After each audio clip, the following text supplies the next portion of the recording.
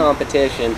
And he goes, that's the same stuff I run in my Jeep. I can't believe you're putting this in a van. And the guy was a million miles an hour. And that's, then I realized, okay, this stuff must be pretty Yeah, cool, right, you know? right. But um, so anyway, the the axle, the rear axle is always going to be engaged in high for everyday driving, and that makes sense, right? We're getting power to our rear wheels. It's a rear wheel drive vehicle, and then we leave the front in neutral, so no power to the front wheels. Okay. So this is going to go to the rear axle here, and then this is to the front axle. All Okay. right. So if we want to go to four-wheel drive, we simply drop the front down into high also, and this is for four-wheel high, okay? Okay. And now you see this is going to go to the front axle and this is to the rear, so we're getting full action there, okay? Uh-huh.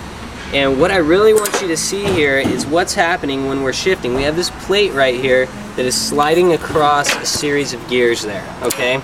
And when these gears are lined up nicely like they are here, it's going to be real easy. Okay. Okay? But if they're misaligned just They- a little bit, they won't. They won't want to shift That's in. That's why you may have stop. to maybe pull forward or backwards just a little bit. Exactly. Yes. Okay. Just know that you know it. They might not line up ten times that you try and push this, and then on the eleventh time it's going to go right in. Okay. It may go in on the first time, but the key is just to be patient with it. and Know that it's all mechanical, Okay. and just to get an understanding of kind of how that works, I think is important. So Okay. you'll know what you're feeling when you're shifting, and and all that good stuff. So, um, the other uh, location that Okay, we now can this go one's to. this is the front, that one's the rear. Okay. rear, right. And so if we want to go to low range, we put the front back to neutral, and then we can go with the rear all the way up into low. And that didn't quite get in, so I'm to go after it again, and there we go. So this is to the rear axle again and to the front. So this gives you the ability to go to rear wheel drive low range without necessarily having to go to four wheel Okay. low. Um, So this is so right now we're in that. rear low. Rear low, yes. Okay. I've had people who like dropping boats off at a boat ramp where they don't need four wheel drive but want that lower gear ratio to help them pull the boat out or I've whatever. done that in my four wheel drive. room. If you're in stop and go traffic and everybody's going about one mile Yes. an hour, Yes. it works yeah, for that. Go, exactly. Okay. Um, and then to go to four low, we simply engage the front up there.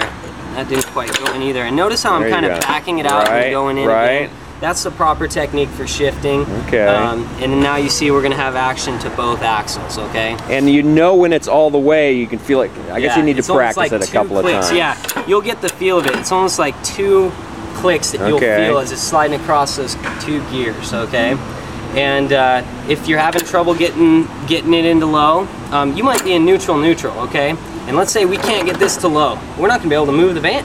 You know, because we're totally out of gear here. But what you can do is go to drive and then back to neutral. And what that's done is it's moved some things around. in Okay. there and then try it again. And if that doesn't work, try Okay, go do it again. And then back to neutral. Okay. And that's what we're gonna or go do right reverse, now. or, reverse. okay, just some gear. You okay. just don't want to put it into park. If you're ever on neutral, neutral, you'll hear it kind of grind out. Okay. So. um, Okay. Okay. that's really the only thing to worry about is if you're in neutral neutral here. Just don't go into park. Keep it in neutral. Other thing i've, I've had a, a customer call me and go my tranny just went. I'm i'm at the side of the road and i can't go anywhere. They had an ice chest sitting there and they hit the brakes. The ice chest slid forward. Oh thank you very much. Okay. ice chest slides forward knocks it into neutral. Okay, so typical driving, rear is in high, Uh-huh. rear high, front's in neutral, uh-huh. And then if you want to go to four high, it's the yeah and that's stick them both in. That's the mostly everything you're going to use there all the time. simply from this to high back to neutral Okay, and then if you want to go into low range, does it matter which one goes first? Well, you it can't matter? have one in low and one in high. So I always This the will front- not allow It won't It will allow it, mechanically yeah. not allow it, okay. Exactly, and that would be a problem if it did. so you'd normally stick one of them into low first. exactly. I would go the front to neutral and then the rear into low first. Okay. And then the front into low. And the front into low, okay. Yeah. Okay. Um, but yeah, that's kind of the basics of it. More than anything is just to see the technique of of shifting this in. If these gears Yes. aren't lined up, you go, it'll stop, and then you back off again and you go at And it go, again. what's wrong with it? Is there Yeah. something wrong with it? There's nothing You wrong don't with it. wrong actually back the vehicle. You're you're just backing this up. Yeah, this backing off. this off. Yeah, and then okay. and you really don't be afraid to break. I mean, you notice this thing. I am not gonna have ball with it. You're not gonna break anything Okay. here. You know, again, it, it's down to to that push button type stuff. I get some people go, it doesn't seem to be working. Yeah. You know, slam Come that on, thing use some force Yeah, on it. Exactly.